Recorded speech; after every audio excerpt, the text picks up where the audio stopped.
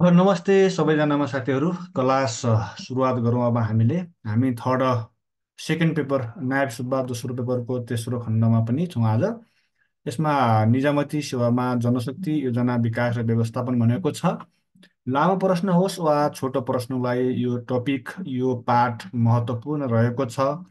यसमा धेरै ट्रिकहरू पनि छन्। म तपाईँहरूलाई सेयर गर्ने प्रयास गर्छु। हजुरले याद गर्नुहोला। आ, युवराजजी गुड इभिनिङ गुरुदेव भएछ गुड बनाउनु पर्ला त्यसलाई। मैले बुझेँ हजुरले भनेको। चैतन्यले वेलकम गरेको आवाज मैले सुनिनँ। म भर्खर आएँ मैले त्यस्तो आवाज केही सुनिनँ है। गुड इभिनिङ गुरुदेव भन्नुभएको छ। गुड इभिनिङ है त। ओके। सुरुवात गरौँ अब हामीले जुन नियमित क्लास हाम्रो भइरहेको छ। यसमा तपाईँहरूको सक्रिय सहभागिता पनि छ केही कुरा लेखेर पढ्नु होला केही कुराहरू नोटमा पनि पाइन्छ। जनशक्ति व्यवस्थापन भन्ने पाठ छ। जनशक्तिको योजना विकास र व्यवस्थापन।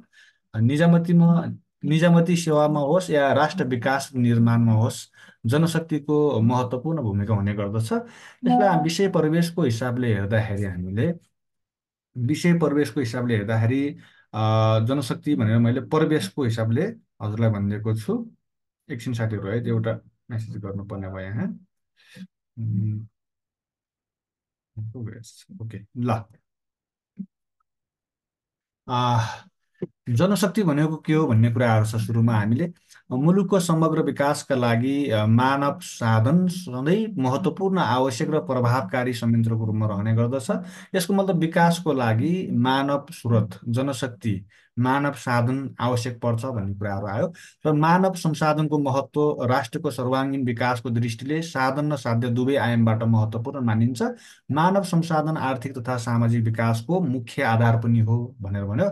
यसो लामो लेखियो। तर यसलाई छोटो बनाउँदाखेरि हामीले भन्न खोजेको कुरा के आयो भन्दाखेरि सबै खालको विकासको लागि मानव चाहिन्छ।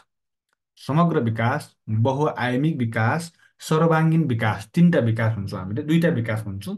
बहुआयामिक एवं सर्वाङ्गीण विकासको लागि मानव संसाधनको आवश्यकता पर्ने गर्दछ भन्ने पहिलो कुरा। र यो मानव संसाधनको महत्त्व आफैमा राष्ट्र निर्माणको दृष्टिले साधन पनि हो साध्य पनि हो। साधन किन भयो? मानव आफैले गर्छ साधन भयो। कसको लागि गर्छ? मानवकै लागि गर्छ साध्य भयो। त्यसैले यो साधनको रूपमा आफूले काम गर्दा हुन्छ। आफ्नै लागि गर्दाखेरिको अवस्थामा अन्तिम यसको प्रतिफल ध्येय उद्देश्य मान्छेकै लागि गर्छ। मानवका लागि मानवले गर्छ। गर्दाखेरि साधन भयो। प्रतिफल पाउँदाखेरि साध्यको रूपमा रह्यो भनेर भन्छौँ। यति मात्र होइन मुलुकको एउटा मानव संसाधन आर्थिक सामाजिक विकासको मुख्य आधार पनि हो भन्छौँ। र मानव संसाधन आफैमा इको पावर टेक्नो पावरको एउटा मूल आधार पनि हो। आर्थिक विकास र शक्ति र आइसिटी टेक्नो पावर भन्छ। प्रविधिको विकासको एउटा आधारको रूपमा हामीले मानव संसाधनलाई लिन्छौँ जनशक्तिलाई लिन्छौँ हामीले है त? ओके। हिजोको नोट भन्नाले हजुरहरूले फिडब्याक क्लासको भन्नुभएको छ भने ग्रुपमा राखिदिएको छु। धर्म संस्कृतिको भन्नुभएको छ भने म अब आजसँगै हालिदिन्छु हजुरहरूलाई है त। आइफोन आज क्विजमा सेकेन्ड भएकोमा सरलाई भयो त धन्यवाद। म जिकेको आज सेकेन्ड भयो म है? म फेरि जहाँ पनि भाग लिइहाल्छु अब। एउटा हौसला आफूलाई आँट आउँछ कुनै ऊ हुनुपर्छ भन्ने होइन भन्ने कुराहरू हुन्छ है त।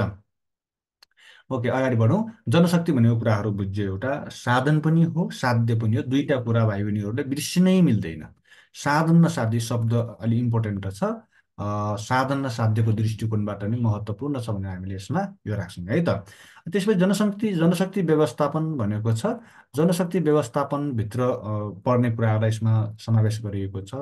मानव संसाधन व्यवस्थापनले मानवीय साधनहरूको अप टु डेट अद्यावधिक स्थिति र आवश्यकताको योजना गर्ने अब मानव जनशक्ति व्यवस्थापनभित्र जनशक्तिकै मानव साधन जनशक्ति भने पनि कर्मचारी भने पनि मानव स्रोत भने पनि मानव संसाधन भने पनि सब एउटै जनशक्ति मानव संसाधन कर्मचारीलाई एउटै रूपमा लिन्छौँ हामीले।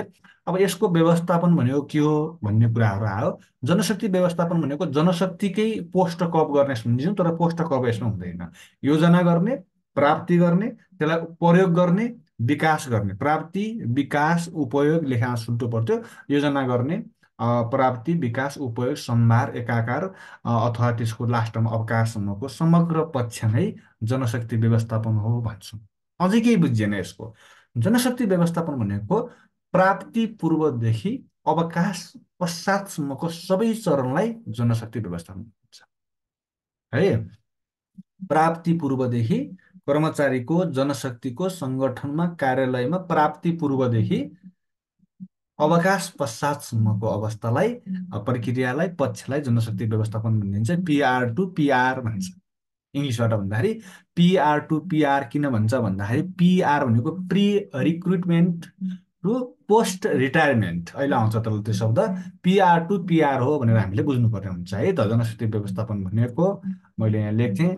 पिआर टु यसलाई हाल्यौँ हामीले टु पिआर ल सरी यो भयो।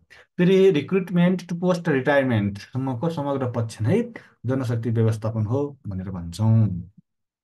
र छोटकरी भन्दाखेरि प्राप्ति कर्मचारीको प्राप्ति गर्ने त्यसको विकास गर्ने प्रयोग गर्ने सम्हार गर्ने अवकाशसम्मका सबै सबै गतिविधिहरू मानव संसाधन जनशक्ति जनशक्ति संसाधन जनशक्ति व्यवस्थापन भन्छौँ। एउटै शब्द भन्दाखेरि हामीले प्राप्ति पूर्वदेखि अवकाश पश्चातसम्मको अवस्था हो pre R to post pre recruitment to post retirement PR to PR भनेर हजुरहरूले बुझ्नुहुनेछ भन्ने मलाई विश्वास छ है त? त्यसपछि लिएर विमलजी आजको हाम्रो विषयवस्तु भनेको जनशक्ति व्यवस्थापन है?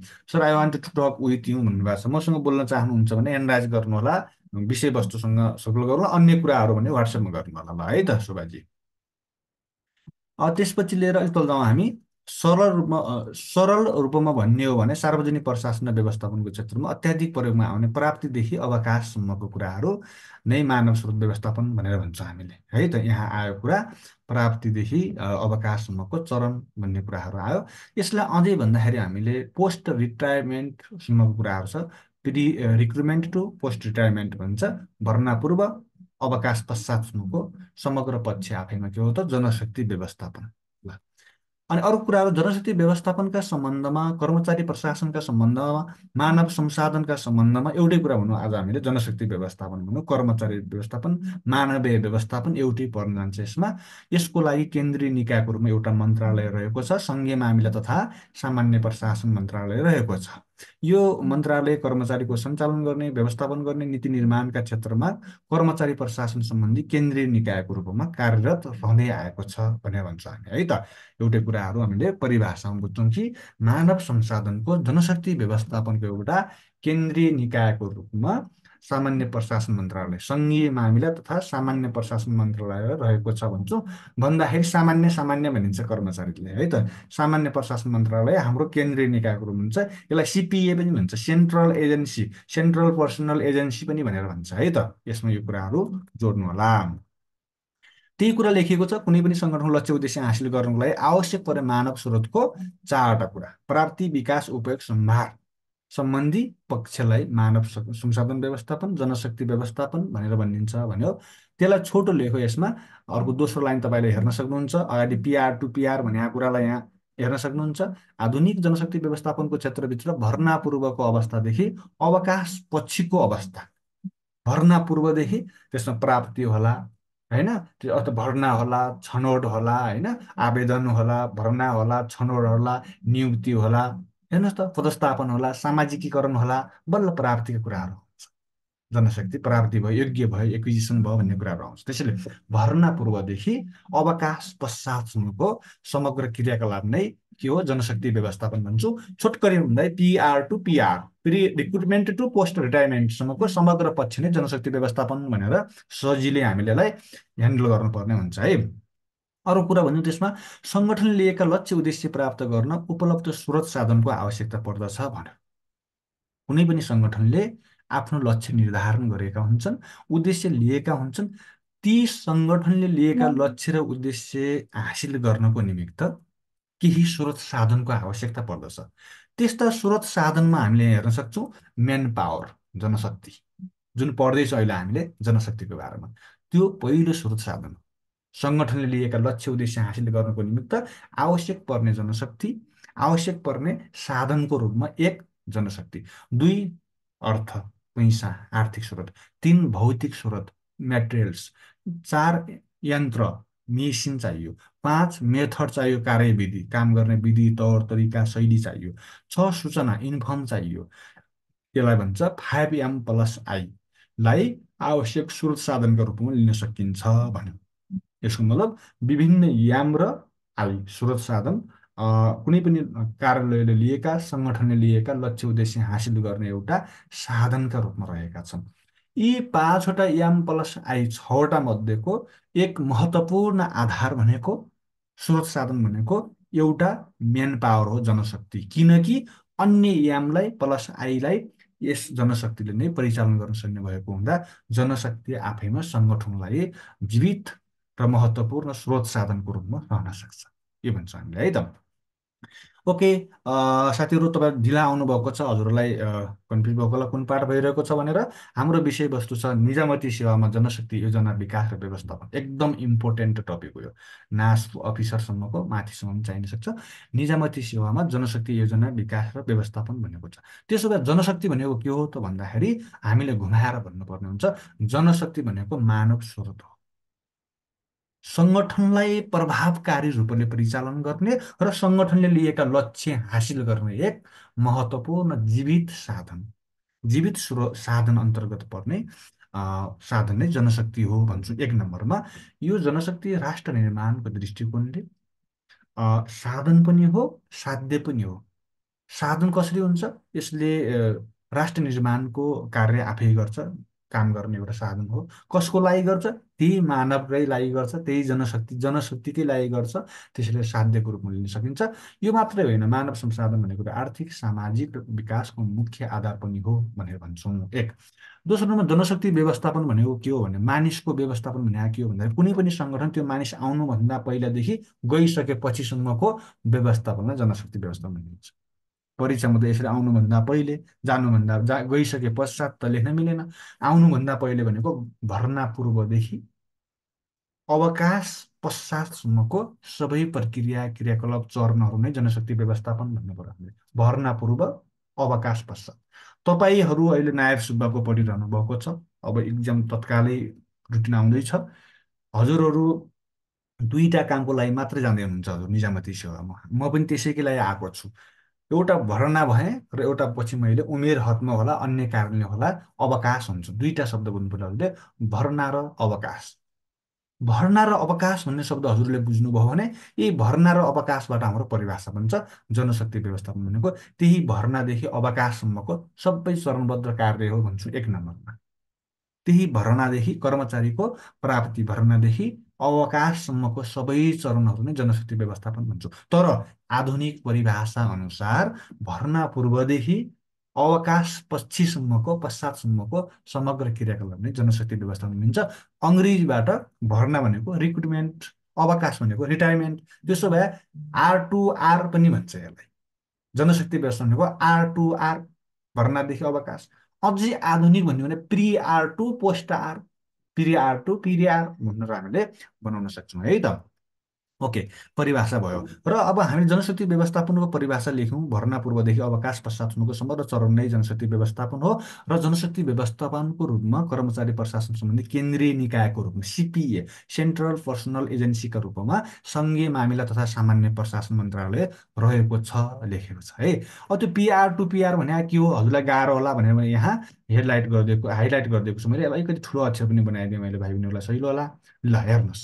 जनशक्ति व्यवस्थापनको क्षेत्रभित्र भर्ना पूर्व फेरि रिक्रुटमेन्टको अवस्थादेखि अवकाशपछि पोस्ट रिटायरमेन्टको जीवन निवृत्ति सम्बन्धी भने जीवन वृत्ति सम्बन्धी व्यवस्थासम्म अर्थात् pre R to post Arka सबै क्रियाकलापहरू समेटिने मान्यता राखिन्छ भनेर लेखिएको छ है त अनि त्यसपछि अलिक तल गइसकेपछि अब एउटा कुरा हामीले जनशक्ति व्यवस्थापन अन्तर्गत दुईवटा आरका कुरा गऱ्यौँ हामीले पिआर टु पिआर त्यसपछि सामान्य प्रशासन मन्त्रालयको नाम पनि सम्बोधन भयो।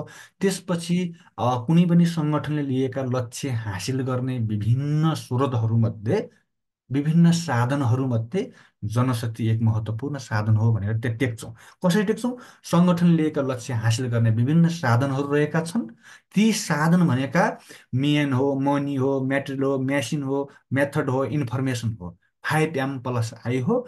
फाइभ एम प्लस आईलाई आवश्यक स्रोत साधनको रूपमा परिचालन गर्ने अर्को याम भनेको मानव हो।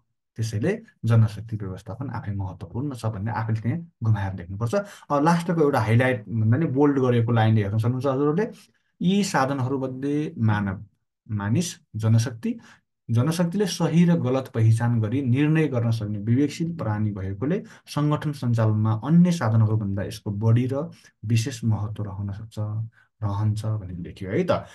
यसरी हामीले जनशक्ति व्यवस्थापन भने के हो। जनशक्ति जनशक्ति भने के हो जनशक्ति व्यवस्थापनभित्र के के कुराहरू समावेश गरिन्छ भनेर केही कुराहरू भनियो। लास्टमा पनि यसलाई मैले हजुरलाई रिकल गराउनेछु है त।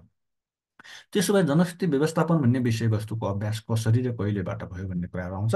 सत्तरीको दशकमा उन्नाइस सय सत्तरीको दशकमा त्योदेखि यता हेर्दाखेरि निजी क्षेत्र र सार्वजनिक संस्थानदेखि सार्वजनिक प्रशासनसम्मकै मानव स्रोतको समुचित व्यवस्थापनलाई समेट्ने गरी कर्मचारी प्रशासनको सट्टा कर्मचारी व्यवस्थापन भन्ने शब्दको प्रयोग आएको छ। उन्नाइस सय सत्तरी असीतिर हेर्दाखेरि कर्मचारी प्रशासन। कर्मचारीले प्रशासन गर्यो शासन गर्यो निर्देशन गर्यो नियन्त्रण गर्यो सेवा प्रवाह गरेन। त्यसैले अब कर्मचारी प्रशासनको सट्टामा हामीले कर्मचारी व्यवस्थापन ल्याउँ भनेर उन्नाइस सय सत्तरीको दशकमा उन्नाइस सय असीमा एनपिएम सुन्नुभएको छ हजुरले न्यू पब्लिक म्यानेजमेन्ट जसले तिनवटा ईको कुरा गरेको छ इफिसियन्सी इफेक्टिभनेस र इकोनोमी। कर के भन्छ यसलाई? कार्यदक्षता मितव्ययता र प्रभावकारिता भन्ने शब्द ल्याएको छ। जसले गर्दा कर्मचारी प्रशासन होइन अब कर्मचारी व्यवस्थापन हुनुपर्छ भनेको छ त्यही कर्मचारी व्यवस्थापनलाई बिस्तारै कर्मचारीलाई जनशक्ति भनेर जनशक्ति व्यवस्थापनमा आयो। पुरा म्याच गरौँ हो यसरी हामीले सत्तरीको दशमा कर्मचारी प्रशासन तस पश्चात त्यस पश्चात कर्मचारी व्यवस्थापन भन्ने शब्दको चर्चा आयो भन्छौँ। त्यति मात्रै होइन उन्नाइस सय नब्बेपछि कर्मचारी व्यवस्थापनलाई प्रतिस्थापित गर्दै स्थापित गर्दै अझ व्यापक र सम्मानित बनाउन खोजिएको छ भनेर लेखेको छ है त। अब दोस्रो लाइनमा सङ्गठन लिएका लक्ष्य उद्देश्य हासिल गर्ने एउटा साधनको रूपमा लिएको छ त्यो लेख्छौँ हामीले। तेस्रो नम्बरमा जनशक्ति योजनाभित्र व्यवस्थापनभित्र कर्मचारीको प्राप्ति विकास उपयोग सम्भार सेवानिवृत्ति सम्बन्धीको समग्र कार्यहरू पर्दछन् भनेर चक्र भने त्यही माथि परिभाषाकै कुराहरू यसले रिपिट गरेको छ। त्यो कुरालाई यसमा समावेश गरेको छ। है त? Right man in right place at right time नै जनशक्ति व्यवस्थापन हो। त्यो पनि भन्न सक्छौँ है त? स्टार्टिङ पोइन्टमा त्यो लेख्ने हामीले। त्यसपछि लिएर अलिकति तल जाउँ हामी। जनशक्ति विकासको आवश्यकता र महत्त्व भन्ने कुराहरू आयो। जनशक्ति विकासको आवश्यकता र महत्त्व कर्मचारीको विकास किन चाहिन्छ भन्ने कुराहरू आयो। यो पटक पटक सोधिएको प्रश्न पनि हो है त? कर्मचारीको ज्ञान र क्षमताको अभिवृद्धि गर्न कर्मचारीको क्षमता जे जति छ त्यसको विकास गर्नलाई पनि जनशक्ति विकासको आवश्यकता पर्छ भन्छौँ हामीले। सङ्गठनिक साङ्गठनिक प्रभावकारिता हासिल गर्न समूह कार्य र समूह गतिशीलता हासिल गर्न यसले के भन्छ समूह कार्य भनेको एउटा समूहमा काम गर्ने टिम वर्क भन्छ यसलाई। है सामूहिक भावना भन्छ टिम स्पिरिट कायम गर्ने भन्छ वृत्ति विकासमा सहयोग गर्न। यद्यपि हाम्रो आफ्नो जनशक्ति विकास अन्तर्गत गरिएका समग्र क्रियाकलापले हाम्रो करियर डेभलपमेन्टमा पनि ठुलो काम गर्छ करियर डेभलपको लागि। निर्णय प्रक्रिया निष्कर्षमा पुर्याउन यस्तै एवं लास्टमा सङ्गठनको प्रतिस्पर्धात्मक क्षमता अभिवृद्धि गर्ने। सङ्गठनमा रहने प्रमुख साधनको रूपमा जनशक्ति रहन्छ। यद्यपि जनशक्तिको डेभलप भयो भने सङ्गठन पनि आफैमा डेभलप हुन्छ। यद्यपि जनशक्तिको डेभलप विकास भयो भने सङ्गठन पनि कम्पिटेटिभ हुन्छ प्रतिस्पर्धात्मक हुनसक्छ त्यसको क्यापेसिटी इन्हान्समेन्ट हुनसक्छ त्यसको अभिवृद्धि हुनसक्छ है त? त्यो कुरालाई हामीले जोड दिन्छौँ नेपालमा जनशक्ति विकासका लागि भएका प्रयास भन्यो भने निजामती सेवायानलाई हेर्न सक्छौँ हामीले जस्तो कि प्रशासनिक नेतृत्वलाई छ वर्गमा समूहीकरण गरिएको छ। निजामती सेवायान दुई हजार उनपचासको दफा छमा हेर्ने भनेपछि क्लस्टरिङ गरिएको छ छ प्रकारमा त्यसलाई लेख्यो। उच्च व्यवस्थापन तालिमको व्यवस्था लेखेको छ। यद्यपि महत्त्वपूर्ण विशिष्ट श्रेणीमा सरुवाको लागि आवश्यक पर्ने तालिमको व्यवस्था उच्च व्यवस्थापन तालिम लिनुपर्ने व्यवस्था छ। उत्तराधिकारी योजना भन्छ। उत्तराधिकारी उत्तराधिकारी योजना भनेको कुनै सचिवज्यू नेपाल सरकार प्रकारको उच्च पदको कर्मचारीको पद हो त्यो। सचिवज्यू सरुवा अवकाश पाउनुभन्दा एक महिना अघि नै त्यो पदमा त्यो पदमा त्यसमा जाने उत्तराधिकारी बाउको उत्तराधिकारी अब छोरो हुने भयो। छोरोको उत्तराधिकारी नाति हुने भयो भने जस्तै उहाँले आफूले आर्जन गरेको राष्ट्रको सेवा गर्ने क्रममा लामो अनुभव गरेको केही एक महिनासम्मको उहाँबाट केही नेतृत्व सिप गर्ने कुराहरू प्रशासनिक कार्यहरू अन्य कार्यहरू सिक्नुको लागि उहाँसँग सिक्ने व्यवस्था गरिएको हुन्छ। उत्तराधिकारी योजना भन्छ त्यसलाई। कार्य सम्पादन करार कहिले करारबाट सम्पादन गर्नुपर्छ बरबजरात गर्नुपर्ने व्यवस्था तालिम अध्ययन अवलोकन कार्य सम्पादन मूल्याङ्कनका कुराहरू प्रयास भौगोलिक अध्ययन गर्ने कुराहरू। अस्ति हामी पढाएको छौँ धारा अठारमा सरी दफा अठारमा निजामती सेवा हजार पचासको दफा अठारमा सरुवा सम्बन्धी व्यवस्थामा सुरुमा के ल्याएको थियो? भौगोलिक क्षेत्रको अध्ययन समेत गर्ने हिसाबले अख्तियारवालाले सभा गर्छ भनेर एउटा जनशक्ति विकासको एउटा आयाम हो त्यो। उच्च पदमा नेतृत्व मूल्याङ्कन गर्न समितिको व्यवस्था गरिएको छ भनेर यसरी लेखेको छ है त? अब त्यसपछि लिएर जनशक्ति व्यवस्थापनका विशेषताहरू भनेको छ। यो विशेषता जनशक्ति व्यवस्थापनको विशेषतामा के हुन्छ भन्ने कुराहरू छ। राहुलजी छ क्लास फेरि भनिदिनु भन्नुभएको छ। निजामती सेवा दुई हजार पचासको दफा छमा जनशक्ति कर्मचारी क्लस्टर गरेका निजामती सेवा क्लस्टर गरेको छ जुन दफा तिनका दसवटा सेवा रहेका छन्। निजामती सेवाका अस्ति भर्खरै परेको आइक्री न्या पर परले बिबिसी भनेर। है? आर्थिक योजना तथा तथ्याङ्क सेवादेखि लिएर लास्टमा बिबिसी नेपाल शिक्षा सेवा भन्ने छ त्यसमा। त्यो सम्मका सबैलाई छ नम्बर छ समूहमा विभाजन गरेको छ दफा छमा है त? त्यसपछि लिएर अरू कुराहरू भन्दाखेरि जनशक्ति व्यवस्थापनका विशेषताहरू भन्यो भनेपछि यसको चरित्र भनेको मानव केन्द्रित हुन्छ है? मानव केन्द्रित कार्य नै जनशक्ति व्यवस्थापनको चरित्र हो यसमा है? दिपेनजी सर यो धेरै फास्ट भएन र भन्नुभएको छ। कहाँ फास्ट आउनु? ओ म फास्ट भन्दा तपाईँहरू झनै फास्ट आउनुपर्छ। अब है परीक्षाको लागि छिटो छिटो बुझ्ने छिटो छिटो लेख्ने प्रयास गर्ने नोट पाइहाल्नुहुन्छ हजुरहरूले। म चाहिने कुरामा तपाईँहरूलाई ध्यान दिइहाल्छु अहिले नाप्दिनु है। जनशक्ति व्यवस्थापनको विशेषता भन्यो भने ध्यान दिएर एकरो ध्यान दिनु होला आइहाल्छ कुरो। जनशक्ति व्यवस्थापनका विशेषताहरू भन्यो भने मानव केन्द्रित यसले ह्युमन फोकस गर्छ। बस त्यति भन्छौँ हामीले है त। यसले जनशक्ति व्यवस्थापनका विशेषता चरित्र भनेकै मानव केन्द्रित हो। यति कुरा लेख्नुपर्छ हजुरहरूले। दुई नम्बरमा व्यवस्थापकीय कार्य हो यो। म्यानेजमेन्ट अफ फङ्सन भन्छ। व्यवस्थापकीय कार्य हो यसको चरित्र भनेको। अर्को भनेको मानव संसाधन भनेको मानव स्रोत जनशक्तिको विशेषता चरित्र भनेको एकदम व्यापकता हो यो। है व्यापक छ। के भन्यो अगाडि हामीले त pre recruitment to post retirement भर्ना पूर्वदेखि अवकाश पश्चातसम्मका। यसको मतलब पच्चिस वर्ष तिस वर्ष चालिस वर्षमा सेवा गर्नेसम्मका सबै कार्य नै जनशक्ति व्यवस्थापनको चरित्र हो व्यापकता छ। निरन्तरता गतिशीलता हुन्छ यो र प्रतिबद्धता भनेको सेवा प्रवाहमा जनशक्तिको कार्यालयमा सङ्गठनप्रतिको एउटा कमिटमेन्ट पनि हुने गर्दछ भन्छौँ। गतिशीलता अब सङ्गठनको स्वरूप संरचना समय परिस्थिति अनुसार जनशक्ति पनि परिवर्तन हुन्छ। अहिले निजामती सेवामा पहिला कम्प्युटर चलाउनेको जनशक्तिको अभाव थियो। अहिले धेरैले कम्प्युटर चलाउनुहुन्छ नाइन्टी नाइन पर्सेन्टले भनेपछि के भयो त? गतिशील भयो परिवर्तनशील भयो रूपान्तरणकारी भयो। एउटा प्रणाली सिस्टम हो। जनशक्ति व्यवस्थापन भनेको छुट्टै पद्धति हो एउटा। र पारस्परिकतामुखी भन्छ यो।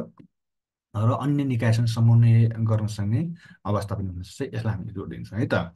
नोट र रेकर्डेड भिडियो खै दिनु कोही केही दिनुहुन्छ भन्नु? नोट मात्रै पाउनुहुन्छ हजुरले रेकर्डेड भिडियो मैले राखेको छु तर तपाईँहरूले नोट मात्रै पाउनुहुन्छ है?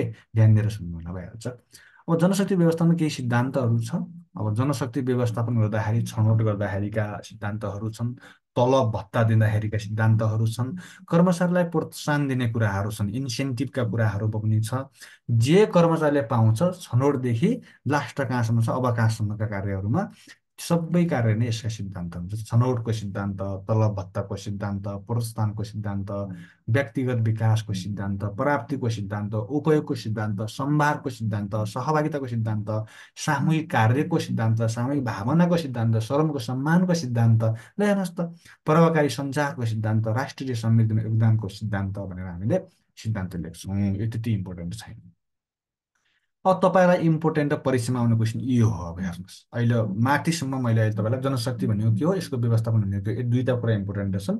मैले फेरि रिपिट गरिदिउँ हजुरलाई जनशक्ति व्यवस्थापन भनेको के हो कुन कुन शब्द लेख्ने भनिदिनु आयो मैले जनशक्ति व्यवस्थापन भनेको भर्ना पूर्व अवकाश पश्चात दुईवटा शब्द बोक्ने सामान्य प्रशासन मन्त्रालयलाई सम्झिने त्यसपछि सङ्गठन लक्ष्य हासिल गर्ने विभिन्न साधनहरू छन् त्यो मध्येको एउटा साधन मानव हो भन्ने किनकि मानवले नै अरू साधनलाई परिचालन गर्दछ लेख्ने।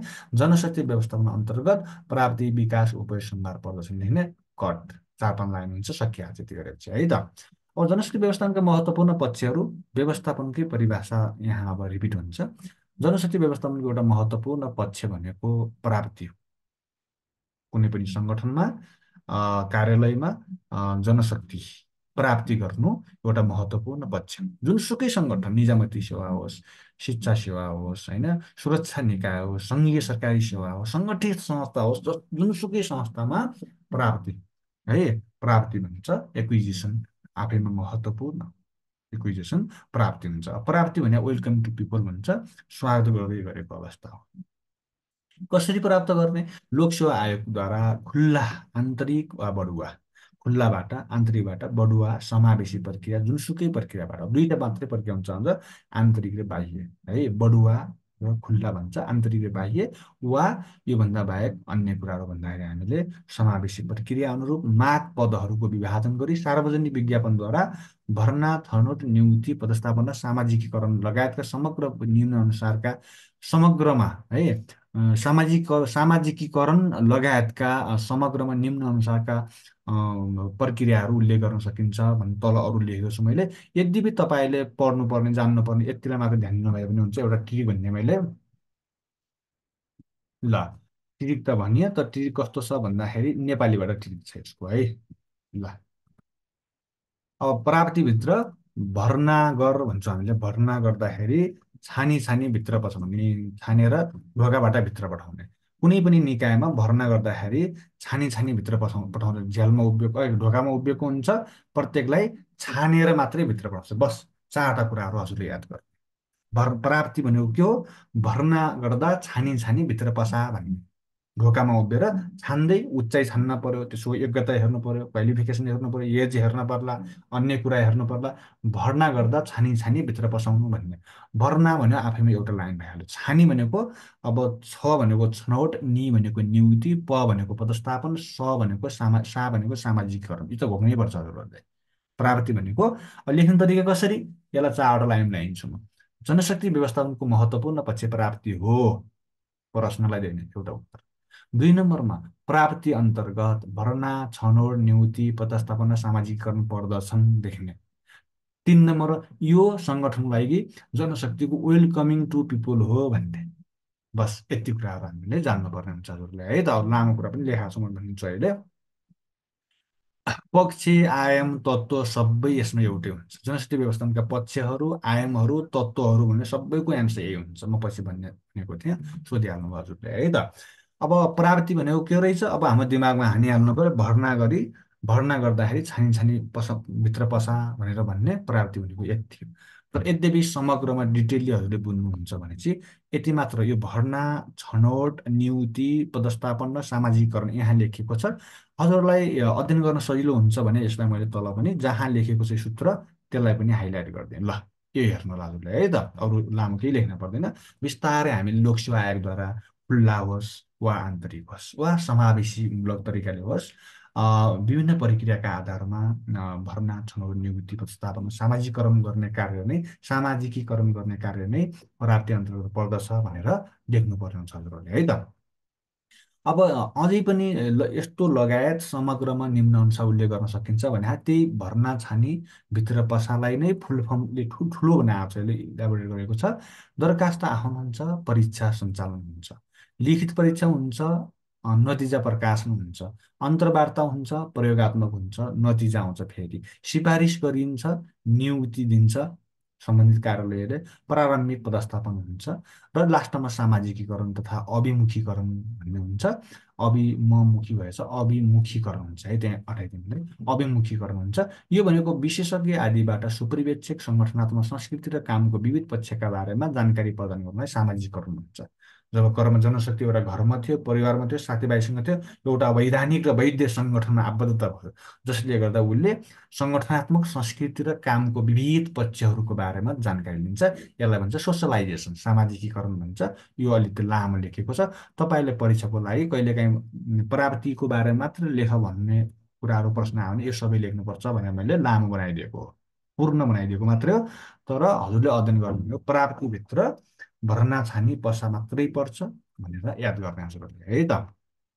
ओके। आन्तरिक भनेको कस्तो छ भन्नुभएको छ? प्रदीप प्रदीप कटवालजीले। आन्तरिक भनेको कस्तो भन्नुहुन्छ भन्दाखेरि सङ्गठनभित्रैकै कर्मचारीबाट मात्रै पदपूर्ति गर्ने। कसरी त? भन्दाखेरि अब खाली भयो रिक्त पदमा विभिन्न कारणले त्यसलाई आन्तरिक पदपूर्ति पनि गरिदिन्छ क्या? प्राप्ति गरिदिन्छ जस्तो आन्तरिक भनेको कुनै एउटा जिल्लामा खाली भयो। त्यसो त्यहाँ सरुवाबाट गर्न सक्छ बडुवाबाट गर्न सक्छ काजमा ल्याएर गर्न सक्छ निमित्त दिएर गर्न सक्छ कायम मुकायम गरेर गर्न सक्छ सेवासम्म परिवर्तन गरेर गर्न सक्छ कतै समायोजन गरेर गर्न सक्छ। जस्तै अस्ति सङ्घीयतासँगै प्रदेश स्थानीय तह खाली थिए सङ्घीय कर्मचारीलाई समायोजन गरेर खाली पद पूर्ति गर्यो त्यसमा प्राप्ति गर्यो त्यसमा यताबाट गयो तिमीलाई समायोजनको मेथड प्रयोग गर्यो त्यसले।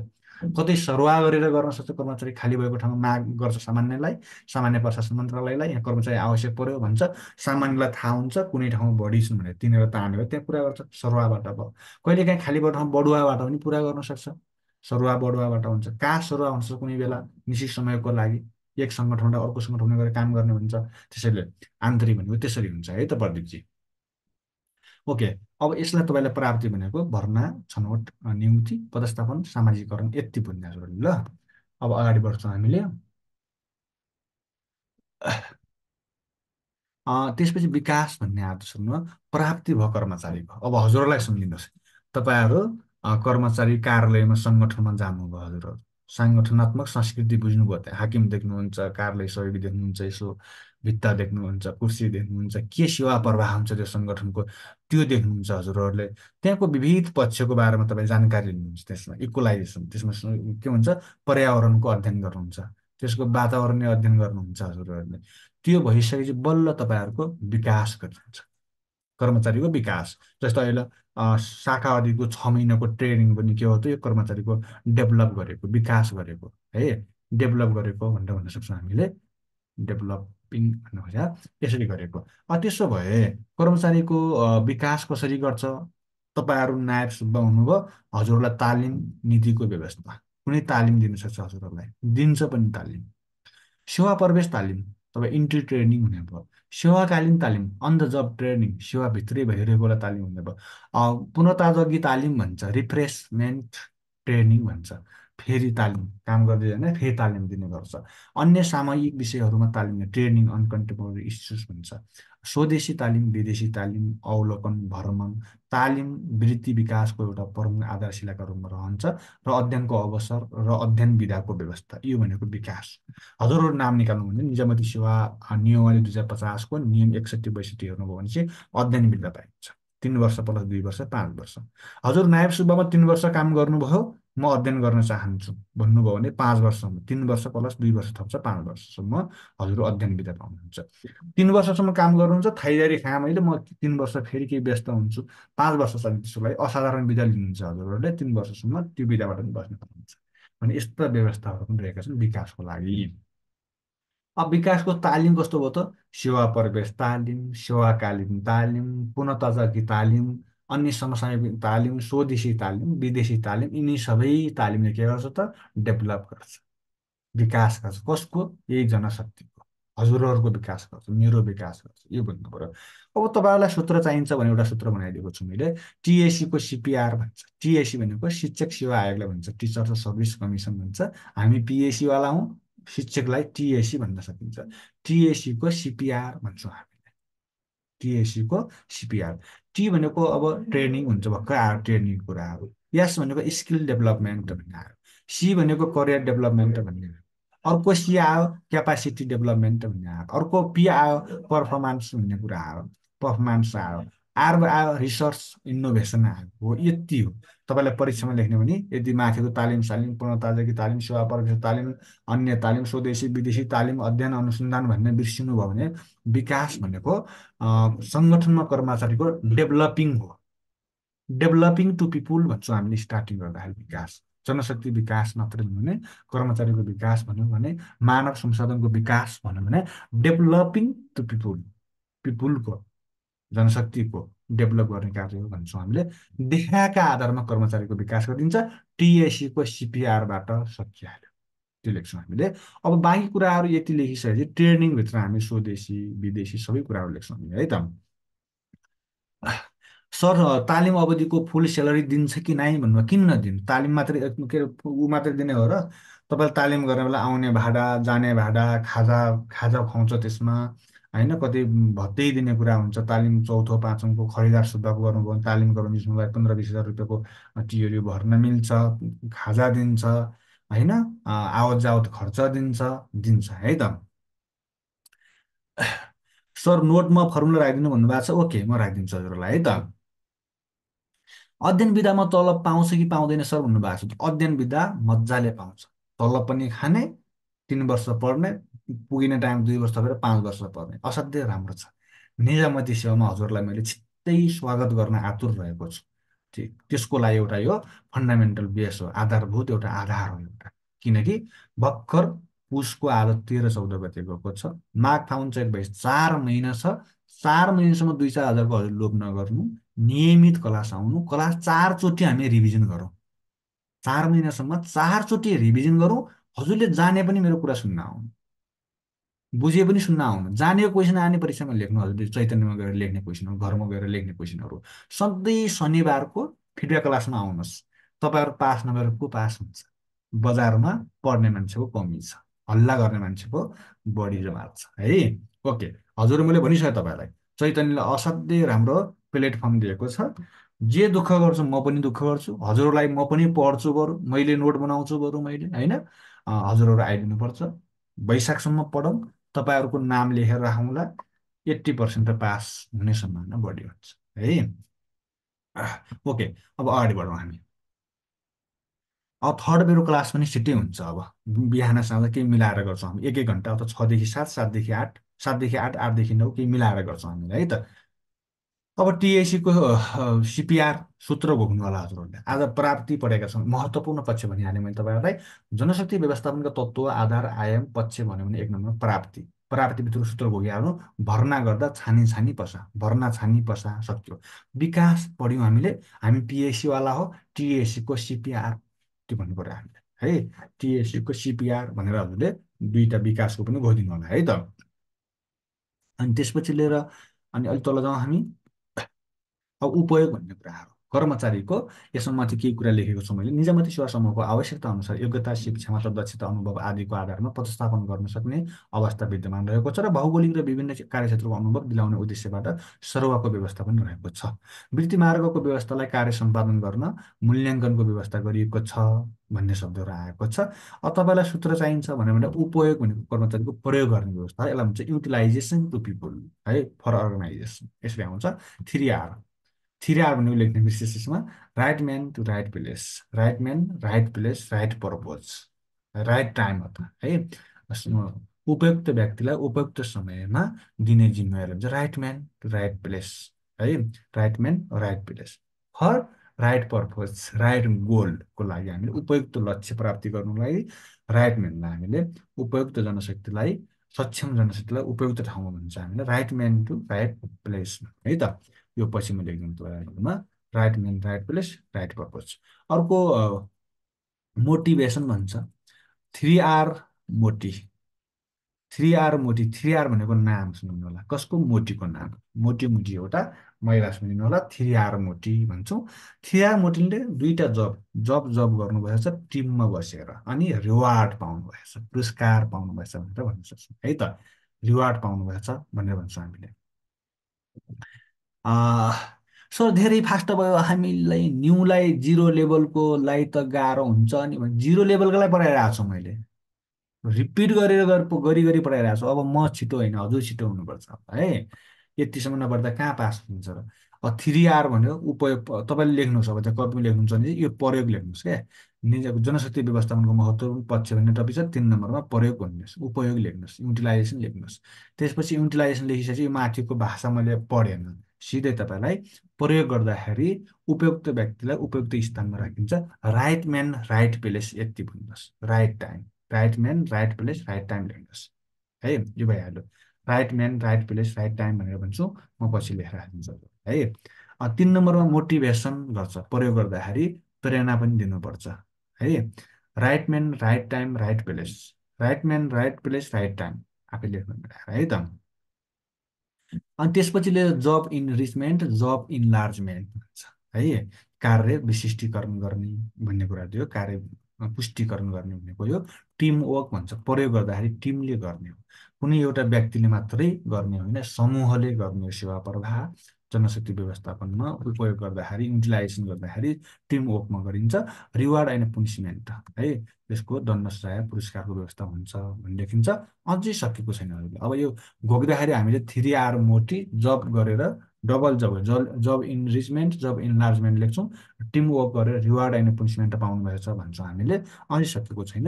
यद्यपि कर्मचारीलाई देखाए बमोजिमको उत्प्रेरित र अभिप्रेरित र एकीकृत गरी उनीहरूको महत्तम उपयोग गर्नुपर्छ भन्यो। अब उसलाई केही न केही दिएर हामीले उपयोग गर्नुपर्छ भन्ने कुराहरू आयो। के के दिएपछि उपयोग गर्न सकिन्छ? अभिप्रेरित हुन्छन् उत्प्रेरित हुन्छन् भन्ने कुराहरू आयो यसमा है त। अब जस्तो कर्मचारीलाई पहिलो कुरा उत्प्रेरित गराउने काम गरौँ गरौँ भन्ने तलब। उपयुक्त तलब हुनु पर्यो भत्ता हुनु पर्यो तलबको सर्वेक्षण पुनरावलोकन गर्नु पर्यो त्यसको भत्ता निर्धारण पनि गर्नु पर्यो कर्मचारीलाई। बजारको महँगीको अवस्था जीवनशैलीको अवस्था अन्य देशहरूको कर्मचारीलाई हेर्ने व्यवहारको कुराहरू सबैले निर्धारण गर्छ। नत्र भने जनशक्ति प्राप्ति गर्यो विकास गर्यो तालिम गरायो तर पैसा तलब भत्ता कम दियो उत्प्रेरणा मोटिभेसन भएन भने जनशक्तिले अर्को विकल्प लिन खोज्छ। अर्को विकल्प चाहन्छ उसले अर्को बाटो खोज्न सक्छ त्यसैले तलब भत्ता पर्याप्त हुनुपर्छ भने। दुई नम्बरमा कार्य मूल्याङ्कन अधिकार र प्रत्यायोजन उत्तरदायित्वको विभाजन। दुई नम्बरमा कार्यको मूल्याङ्कन काम गर्ने कर्मचारीको मूल्याङ्कन हुनुपर्छ। र उनीहरूलाई कहिलेकाहीँ नेतृत्व विकासको लागि र नेतृत्वको कार्यबोझमा कमी ल्याउनको लागि कार्य अधिकार र प्रत्यायोजन पनि गर्नुपर्छ र उत्तरदायित्वको विभाजन गर्नुपर्छ भनेर हामीले त्यो थाहा सक्छौँ है त?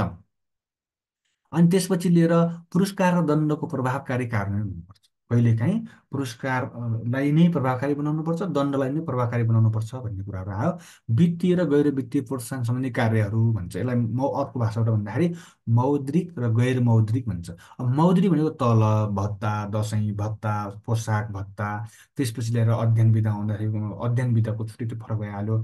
त्यसै हाम्रा कुनै विधा संस्कृतिबाट आउने पैसाहरू त्यो पैसासँग सम्बन्धी कुराहरू मौद्रिक भन्छ प्रोत्साहन पर्याप्त हुनुपर्छ अब गैर मौद्रिक भन्छ गैर मौद्रिक भनेको हाम्रा विभिन्न किसिमका विधाहरू अनि अध्ययन खोज अनुसन्धानका कुराहरू त्यो पनि हामीलाई सुविधा दिनुपर्छ त्यो भन्छौँ हामीले उपयुक्त कार्य वातावरणको सिर्जना काम गर्ने वातावरण हुनुपर्छ। जस्तै कर्मचारीलाई काम गर्ने वातावरण भएन भने सङ्गठनले लिएका लक्ष्य हासिल गर्न गाह्रो पर्छ। कर्मचारीले निर्धक्क साथ काम गर्ने वातावरण हुनुपर्छ है। कुनै हत्या हिंसा त्यसपछि ठगी फिरौती अन्य कुराहरू छ नि त काम गर्नलाई गाह्रो हो त्यो हुनुहुन्न भनेको।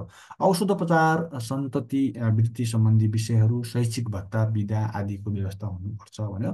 गुणस्तर व्यवस्था व्यवस्थापन गर्ने एउटा संयन्त्रको व्यवस्थापन गर्नुपर्छ। यदि भयो भने कर्मचारीलाई मजाले प्रयोग गर्न सकिन्छ युटिलाइजेसन गर्न सकिन्छ भनेर भन्छौँ हामीले है त। अब एकीकरण भन्छ यसलाई कर्मचारीको इन्टिग्रेसन गर्नको लागि पनि कर्मचारी र व्यवस्थापन बिच समन्वय काम गर्ने हाकिम र कर्मचारीहरू बिचको सम्बन्ध राम्रो हुनु पर्यो। हाकिमले पनि सेवा प्रवाह गर्न आएको हो र कर्मचारी पनि सेवा प्रवाह गर्नै आएको हो। त्यो कर्मचारी भोलि पनि हाकिम हुने हो। त्यसैले कर्मचारीको कार्यालय प्रमुख र कर्मचारी बिचको सम्बन्ध सौहार्दता वातावरण हुनुपर्छ काम गर्दाखेरि। है त? त्यसमा सबै हामीले सेवा प्रवाह गर्ने हो भन्ने कुराहरू रहन्छ। त्यसपछि लिएर अर्को शब्द भन्दाखेरि हामीले असल औद्योगिक सम्बन्धको स्थापना हुन्छ। यो कर्मचारी बिचको एउटा रिलेसनसिप कायम गर्नुपर्छ भन्छ। सङ्गठन व्यवहारका मान्यताहरूको कार्यान्वयन गर्ने भन्छ। सङ्गठनात्मक व्यवहार भनेको सङ्गठनमा गर्ने व्यवहार भन्छ। है एकले अर्काप्रति गर्ने व्यवहार। नियमितता कुराहरू होइन? आदेशको पालनाका कुराहरू वैधानिकता कुराहरू कार्यालयको गोपनीयता सङ्गठनको गोपनीयता कायम गर्ने कुराहरू सङ्गठनको मान प्रतिष्ठा र साख बचाउने कुराहरू प्रभावकारी हुनुपर्छ भन्ने कुराहरू। आयो उचित सुनवाईको व्यवस्था सुनवाई भएछ। उचित सुनवाईको व्यवस्था पनि हुनुपर्छ र सहभागितामूलक व्यवस्थापनको अनुसरण गर्ने। कुनै व्यवस्थापन निर्णय गर्नु पर्यो? नवीन काम गर्नु पर्यो? सबैको सल्लाह सहभागितामूलक निर्णय हुनु पऱ्यो सहभागितामूलक सेवा प्रवाह हुनु पऱ्यो भनेर हामीले भन्न सक्छौँ है त? अब लास्टमा सम्भार भन्ने भयो। एक नम्बरमा प्राप्ति कर्मचारी आयो विकास तालु बनायो पठाइदियो काम गर्न प्रयोग गर्यो युटिलाइजेसन प्रयोग पनि थ्री आरले गर्यो मोटी गर्यो डबल जबले गर्यो टिम वर्कले गर्यो त्यही अनुसारको रिवार्ड एन्ड पनिसमेन्ट पायो। त्यही अनुसारको अभिप्रेरित गर्यो मौद्रिक गैर मौद्रिक विधा सेवा सुविधा उपचार खर्च सन्तति खर्च सबै कुराहरू आयो। अब लास्टमा सम्भार। है मेन्टेन्स गर्ने कुराहरू आयो अब संहारभित्र के पर्छ भन्ने कुराहरू आयो संहार भनेको दुईवटा कुरा पर्छ स्पेसल्ली भन्यो भने चाहिँ मौद्रिक र गैर मौद्रिक सेवा सुविधा एउटा कार्य वातावरणको माथि कुराहरू आउँछ जस्तो तलब भत्ता सुविधाको व्यवस्था हुनुपर्छ। कर्मचारीलाई टिकाइराख्नुको निमित्त सम्हार गर्ने हो भने हामीले मेन्टेन्स गर्ने भने तलब भत्ता उपयुक्त पर्याप्त मात्रामा दिनुपर्छ भन्छ। तलब भत्ता सुविधामा सामूहिक परिमार्जन समाएर छ बजारको मूल्य बजार मूल्याङ्कन गर्ने अब बजारको महँगी अवस्था हेर्ने अगाडि भनेकै शब्दहरू छन्। छिमेकी मुलुकहरूले कर्मचारीलाई कसरी हेरेको छ दृष्टिकोण त्यो पनि हेर्ने सामूहिक परिमार्जन र समायोजन गर्नुपर्छ भनिन्छ र औषधि उपचार सुविधाको व्यवस्था। यद्यपि कर्मचारीलाई सम्भार गर्नु भने औषधि उपचारको व्यवस्था गर्नुपर्छ। अहिले पनि छ त्यो त तर अझै निशुल्क गर्नुपर्छ भन्ने कुराहरू यो है त? त्यसपछि लिएर अर्को कुराहरू छ तल। औषधिपछि बिदाको व्यवस्था थाहा छ हामीलाई। बिदा धेरै प्रकारका भई गरिबी पर कि अ भनेर सूत्र बनाएर पढेको थियौँ हामीले हिजो। त्यो पनि छ। सेवाको सुरक्षा हुनुपर्छ। लोकसेवा आयोगका कर्मचारी लोकसेवा आयोग कर्मचारीको अभिभावकको रूपमा रहेको हुन्छ। तनाव व्यवस्थापन जस्ता तालिमहरूको आयोजना गरिन्छ। सम्भार गर्नलाई निजामती कर्मचारी अस्पतालको व्यवस्था सिभिल हस्पिटल रहेको छ बानेश्वरमा त्यो भन्छौँ। कर्मचारी सञ्चय कोष नागरिक लगानी कोष बिमा कोष जस्ता दीर्घकालीन सुरक्षण बचत योजनाहरू रहेका छन्। कार्यान्वयनमा पनि छन् यी कुराहरू। र अवकाश पछिको जीवनलाई आर्थिक सहयोग दिन निवृत्ति भरौँ पेन्सन पारिवारिक निवृत्ति भरौँ शैक्षिक निवृत्ति भरौँ उपदानको व्यवस्था गरिएको छ भन्छ। अवकाश पश्चात पनि केही आय स्रोतहरू रहन्छ भन्ने हो र अन्य कुरा छ आकर्षक सेवा सुविधा स्वच्छ निष्पक्ष मूल्याङ्कन पिरमर्काको सुनवाई पुरस्कार दण्डको व्यवस्था सुनिश्चित भविष्यको प्रत्याभूति यस्तो गर्न सकेको अवस्थामा कर्मचारी रहिरहन्छ सङ्गठनमा। है त्यहाँ टिकाउ रहन्छ सम्हार यसरी गर्नुपर्छ भन्ने कुराहरू आयो। मूलभूत रूपमा अब अवकाश भन्ने शब्दहरू आयो। अवकाश भनेको के हो भन्ने कुराहरू आयो। अवकाश भन्छ यसलाई इङ्ग्लिसबाट रिटायर भन्छ रिटायरमेन्ट हुन्छ। अवकाश भनेको लामो जागिरे जिन्दगीबाट सङ्गठनलाई पुर्याएको लामो योगदानबाट सङ्गठनबाट घर फिर्तीको अवस्था बहिर्गमनको अवस्थालाई अवकाश भनिन्छ। अवकाश विभिन्न कारणले हुने गर्छ निजामती सेवा ऐन दुई हजार उनपचासको दफा तेत्तिस सत्र चौतिस चौतिस क र पैँतिसमा अवकाश सम्बन्धी प्रष्ट व्यवस्था गरिएको छ। अनिवार्य अवकाशको व्यवस्था पनि छ कम्पलसरी रिटायरमेन्ट जति म यहाँ बस्छु भनेर रोही कराई गरे पनि अनिवार्य फर्किनुपर्छ जसको लागि अन्ठाउन्न वर्ष हुनुपर्छ।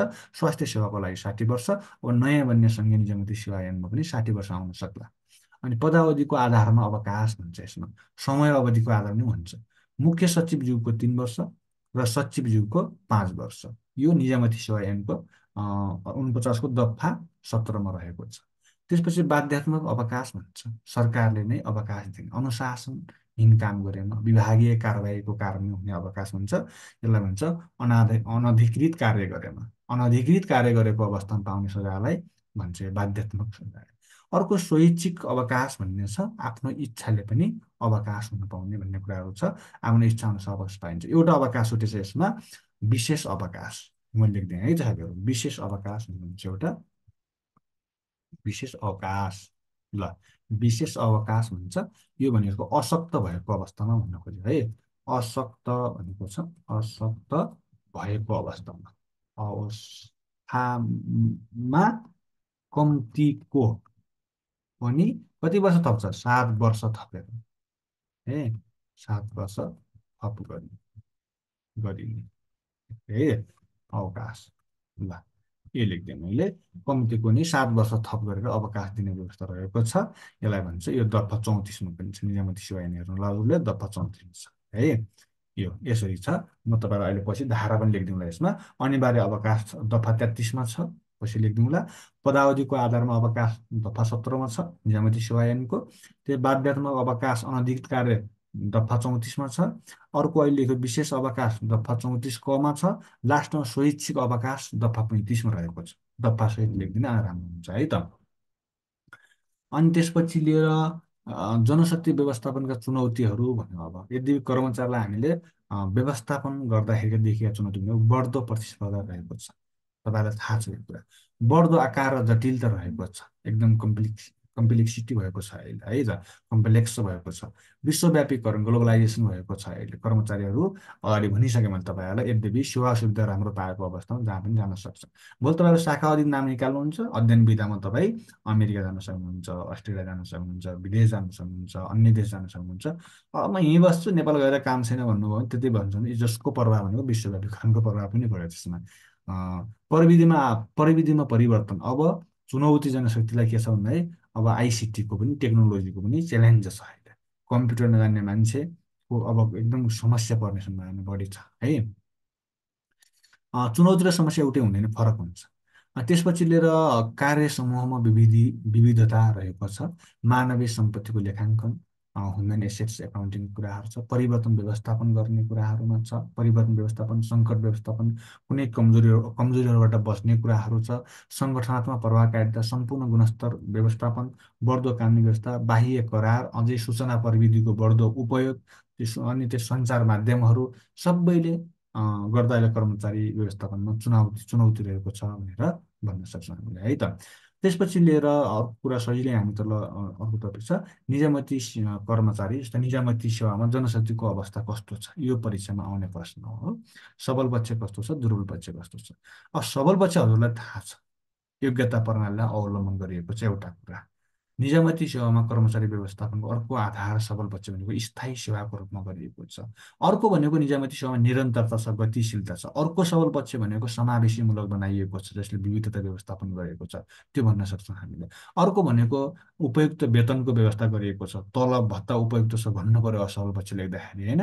उपयुक्त छ भन्नु पऱ्यो त्यसपछि लिएर हामीले अर्को भन्दाखेरि अझ निजामती सेवामा जनशक्ति व्यवस्थापन सफल पक्ष भनेको एक संवैधानिक निकाय स्वतन्त्र निष्पक्ष संवैधानिक निकायबाट कर्मचारीको प्राप्ति गरिन्छ भर्ना छनौटका र सिफारिसका कार्य गरिन्छ त्यसपछि लिएर सङ्गठनमा वा हरेक मन्त्रालयमा जनशक्ति विकास शाखाको व्यवस्था गरिएको छ अर्को प्लस पोइन्ट भनेको सामाजिकीकरण सोसलाइजेसनलाई विविध व्यवस्था गरिएको छ अब त्यसरी लेख्नु तालिमको व्यवस्था सबल पक्ष भनेको तालिम सब ट्रेनिङ लिनुहोस् तपाईँहरू तालिमभित्र कुराहरू ट्रेनिङको कुराहरू on the job off the job in the job सबै कुराहरू ल्याउनु त्यसमा। त्यसपछि प्रि जब प्रि ट्रेनिङको कुराहरू छन्। त्यसपछि लिएर टिएससीको सिपिआर त्यो सूत्र सबै लेखिदिनुहोस् यसमा आउँछ है त। त्यसो भए दुर्बल पक्षहरू के छन् भन्ने कुराहरू आयो। तालिम प्रशिक्षण उच्च शिक्षाको यथेष्ट अवसरको अभावले ज्ञान नसिबमा समय सापेक्षको अभाव हुनु। एउटा निजामती कर्मचारी समयानुकूल छैन भन्ने कुराहरू आयो। है परिवर्तनशील हुन सकेको छैन भन्नु पर्यो अर्को समस्या भनेको निजामती कर्मचारी जनशक्तिमा करप्ट नेचर भ्रष्टाचारको स्वभाव भएको भन्ने आरोप लाग्ने पाइन्छ। अर्को भनेको नवीनतम प्रविधि र प्रशासनिक विधिहरू अवलम्बन गर्न नसक्ने क्षमताको कमी भन्ने आयो। किन आइसिटीलाई आत्मसात गर्नु नवीनतम यस्तो हुन्छ साथीहरू है। ल यो भयो। त्यसपछि उत्प्रेरणा बढाउने मनोबल उच्च राख्ने तर्फ कमै मात्रामा विचार पुर्याइएको पाइन्छ त्यो कुराहरू देखिन्छ। सङ्गठनको व्यवहारको पाटोलाई व्यवस्था गरिएको हाकिम प्रविधि शैली रहेको त्यो भन्छौँ हामीले। अधिकार प्रत्यार्जन पनि गर्न नचाहने हिचकिचाउने प्रविधिले कर्मचारीहरूको कार्यक्षमता कमजोर हुन्छ।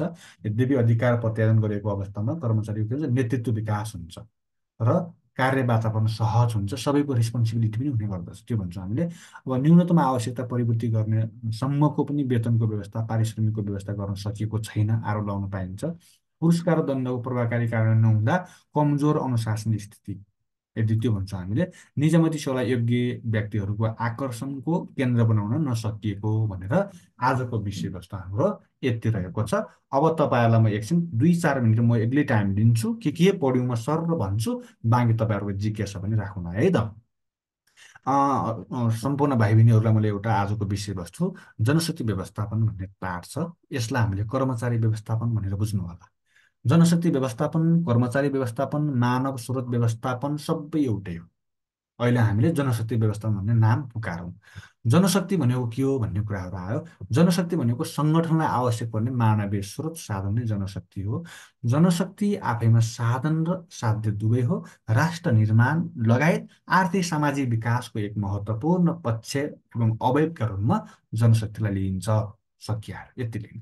त्यस दोस्रो बुदामा हामीले जनशक्ति व्यवस्थापन भनेको के हो भन्ने टपिकलाई प्राथमिकतामा राखौँ। जनशक्ति व्यवस्थापन भनेको जनशक्ति प्राप्ति गर्नुभन्दा पूर्वदेखि अवकाश पश्चातसम्मको सबै प्रक्रिया जनशक्ति व्यवस्थापन हो भन्छौँ। यसलाई एक शब्द भन्दाखेरि हामीले pre R to post R. एउटा आर रिक्रुटमेन्ट एउटा आर रिटायरमेन्ट भन्छ pre recruitment to post retirement भनेको पिरि आर टु पिरि आरसम्मको कार्य भन्छौँ हामीले। तेस्रो नम्बरमा कसको नाम पुकारौँ भन्दाखेरि हामीले जनशक्ति व्यवस्थापनका लागि विभिन्न व्यवस्थाहरू गरिएको छ जस्तो कि एउटा केन्द्रीय निकायको रूपमा सामान्य प्रशासन मन्त्रालय सङ्घीय मामिला तथा सामान्य प्रशासन मन्त्रालय लिइन्छ त्यो लेख्छौँ हामीले। त्यसपछि सङ्गठनका विभिन्न साधनहरू हुने गर्दछन्। जुन साधनमध्ये मानव साधन जनशक्ति एक महत्त्वपूर्ण साधन हो। किनकि अन्य साधनको नेतृत्व परिचालन गर्ने साधन मानव नै हुने हुन्छ। भन्छ है त? त्यहाँ यस यसरी हामी त्यहाँ सक्छौँ त्यो जनशक्ति व्यवस्थापन। अब एउटा कुरा नभुल्ने भनेको अहिले हामीले जनशक्ति व्यवस्थापन पक्षहरू प्राप्ति विकास उपयोग सम्भारक कुराहरू पढ्यौँ अवकाशका कुराहरू पढ्यौँ नि साथीहरू त्यसलाई लिएर फेरि परिभाषा नै बनाउन पाइन्छ। जनशक्ति व्यवस्थापन भनेको सङ्गठनमा जनशक्तिको प्राप्ति विकास उपयोग सम्भार। अवकाशसम्मका सबै कार्य प्रक्रिया व्यवस्था जनशक्ति व्यवस्थापन हो। त्योबाट पनि ल्याउन सक्छौँ हामीले। है त्यो लेख्छौँ। त्यसपछि अर्को एउटा इम्पोर्टेन्ट कुरा के हुनसक्छ भन्दाखेरि जनशक्ति व्यवस्थापनका आयामहरू लेख्नुहोस्। जनशक्ति व्यवस्थापनका पक्षहरू लेख्नुहोस्। जनशक्ति व्यवस्थापनका तत्त्वहरू लेख्नुहोस् भन्यो भनेपछि त्यही चारवटा कुराहरू प्राप्ति विकास उपयोग सम्भार चारवटा कुरा लास्टमा अवकाश घर जान्छ भनेर पाँचवटा कुरा लेख्नु। अब प्राप्ति भने के हो त भन्दाखेरि प्राप्ति भनेको सङ्गठनमा कर्मचारीको वेलकमिङ गर्ने। वेलकमिङ टु पिपुल भन्छ इन अर्गनाइजेसन प्राप्ति भनेको चार शब्द। भर्ना गर्दा छानी छानी भित्र पसा कर्मचारीको भर्ना गर्दा छानी छानी भित्र पसा आफ्ना दाई भाइहरू कोही प्रहरी हुनुभएको छ प्रहरीमा भर्ना गर्दाखेरि गेटमा उभिएर छानी छानी भित्र पस्छ उचाइ छान्छ छाती छान्छ के के छान्छ छान्छ होइन? भर्ना गर्दा छानी छानी भित्र बस्छ। भर्ना गर्दा भर्ना छनौट नियुक्ति प्रतिस्थापना सामाजिकरण सकिया। दुई नम्बरमा विकास भन्ने शब्द छ। अब विकास के को विकास हुन्छ? तालिमबाट विकास गर्छ अध्ययन अनुसन्धानबाट विकास गर्न सक्छ होइन? अन्य कामबाट विकास गर्न सक्छ। त्यसपछि लिएर विकास मात्रलाई हामीले एउटा सूत्रबाट पनि लेख्न सक्छौँ हामीले टिएससीको सिपिआर भन्ने छ। टी भनेको ट्रेनिङ। ट्रेनिङ भनेको पनि स्वदेशी ट्रेनिङ विदेशी ट्रेनिङ होइन? पूर्णतावकी तालिम त्यसपछि सेवा प्रवेश तालिम रिप्रेसमेन्ट तालिम तालिमै तालिम। एउटा फर्मेट बनाउनु। यस भन्छ स्किल डेभलपमेन्ट सिप विकास। व्यवस्थापन गर्छ टिएससीको सी भनेको करियर डेभलपमेन्ट भन्छ। वृद्धि विकास भन्ने तालिम कुराहरू आयो त्यसमा होइन? टिएससीको सिपिआर अर्को सी आयो सी भने क्यापासिटी आइहाल्यो। पिआर भने चाहिँ पर्फर्मेन्स भन्छ कार्य सम्पादन विकास हुन्छ। लास्ट आर भनेको रिसर्च एन्ड इनोभेसन डेभलपमेन्ट त्यसको अनुसन्धान अन्वेषण सम्बन्धी विकास गर्ने हो। यसरी हामीले टिएससीको सिपिआर सूत्र कट। अब लास्टमा उपयोग भन्ने छ सेकेन्ड लास्टमा उपयोग भनेको प्रयोग गर भन्छ। कसरी प्रयोग गर्ने त? थ्री आरको माध्यमबाट प्रयोग गर्ने। Right म्यानलाई right place place right time right man right time right place उपयुक्त व्यक्तिलाई उपयुक्त समयमा उपयुक्त जिम्मेवारी दिने उपयुक्त स्थानमा राख्ने उपयुक्त व्यक्ति उपयुक्त स्थान उपयुक्त समय। Right man right place right time three R यसरी भन्नुपर्छ है। यो बाहेक अरू पनि छ त्यसमा। थ्री आर मोटीले जब गरी चाहिँ भनेको थियौँ न मोटिभेसनका कुराहरू छ। मोटिभेसन कसरी दिने भन्ने कुरा छ? मोटिभेसनको पैसा दिने।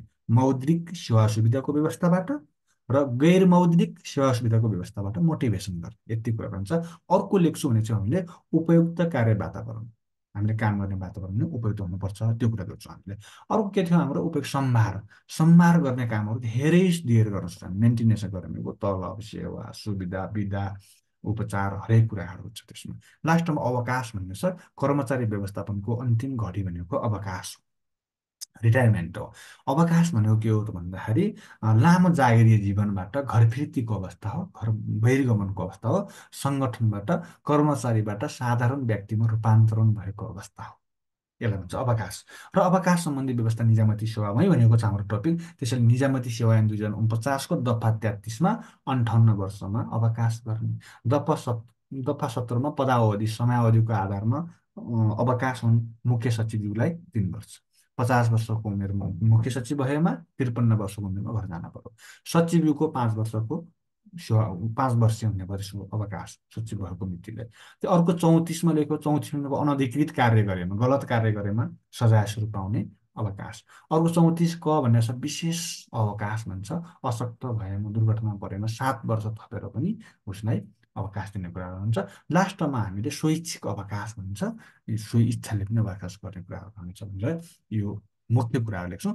बाँकी सबल पक्ष र दुर्बल पक्षहरू त हजुरहरू जुन दिशामा प्रवाहमा हुनुहुन्छ यसलाई आधार मानेर हेर्नु होला मेरिटोक्रेसीको कुरा छ स्थायी सेवा छ समावेशी छ वेतनको व्यवस्था गरेको छ अध्ययनको व्यवस्था गरेको छ स्वदेशी अध्ययन विदेशी अध्ययन कुराहरू छ विधाका व्यवस्थाहरू गरिएको छ। धेरै कुराहरूबाट हामीले सबल पक्ष लेख्छौँ र दुर्बल पक्षहरू पनि लेख्न सक्छौँ हामीले। जस्तो मोटिभेसन छैन तलब न्यून छ प्रक्रियामुखी छ त्यसपछि लिएर विधाको प्रष्ट विधा पनि उपयुक्त विधाको व्यवस्था छैन भन्न सक्छौँ हामीले। त्यसपछि लिएर पुरस्कार दण्ड प्रणाली प्रभावकारी छैन कार्य सम्पादन मूल्याङ्कन प्रभावकारी छैन त्यसमा नातावाद कृपावाद राजनीतिक हस्तक्षेप लेख्न पाइन्छ यसमा है त? न्यून वेतनका कुराहरू यी सबै कुराहरू अनुगमन मूल्याङ्कन नहुने कुराहरू क्षमताको मूल्याङ्कन नगर्ने कुराहरू होइन? नवीनतम आइसिटीलाई आत्मसात नगर्ने कुराहरू लेख्न सक्छौँ है त? ल आजलाई मैले क्लास यति गरेँ। रेकर्डिङ सेसन बन्द गरेँ साथीहरू। यसलाई यहाँ बन्द गरेँ।